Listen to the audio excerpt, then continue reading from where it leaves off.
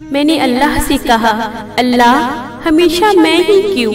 मुझे ही क्यों इतनी तकलीफ़ और परेशानियों का सामना करना पड़ता है? अल्लाह ने जवाब दिया, मेरी प्यारी बंदी, मुझे तुमसे प्यार है, इसलिए तुम्हें ही आजमाता हूँ कि देख सकूँ तुम मेरी रजा हासिल करने के लिए कितना सब्र करती हो। फिर मैंने कहा, लेकिन मेरी खाली, अगर आप मुझसे प्यार करती हैं तो फिर मुझे तकलीफ़ में तरफते हुए कैसे देख सकती हैं? अल्लाह ने जवाब दिया, मेरी बंदी, मेरी मोहब्बत की दलील ये है कि मैं तुम्हें आजमाइश में डालकर सब्र अता करके जन्नत में देखना चाहता हूँ।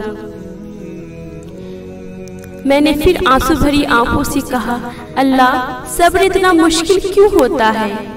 अल्लाह ने जवाब दिया हाँ मेरी बंदी, सब्र मुश्किल है, बहुत मुश्किल है, लेकिन इसका सिला बेहद खूबसूरत है।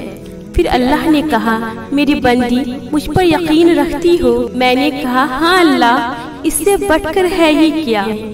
अल्लाह ने जवाब दिया तो बस मेरी बंदी, मुझ पर यकीन रखो।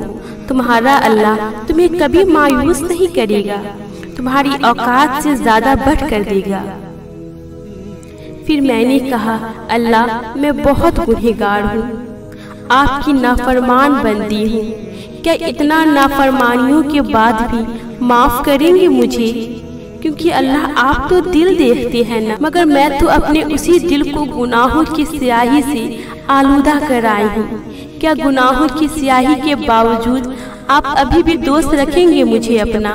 बताइए ना अल्लाह। अल्लाह। ने जवाब दिया। मेरी प्यारी बंदी, क्या सूरह यूसुफ में तुमने पढ़ा नहीं? वही लोग नाउमीद होते हैं, जो काफिर है। कि तुम क्यों नाउमीद हो रही हो? मैं तुम्हारी गुनाहों को बख्श दूँगा। क्या तुमने कुरान में पढ़ा नहीं? बेशक अल्लाह तौबा करने वालों से मोहब्बत करता है।